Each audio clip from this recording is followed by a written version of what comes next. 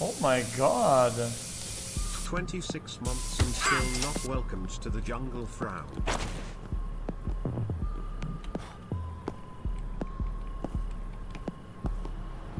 How much is he gonna pay for that? Oh, Jesus Christ. A thousand bucks! Oh shit!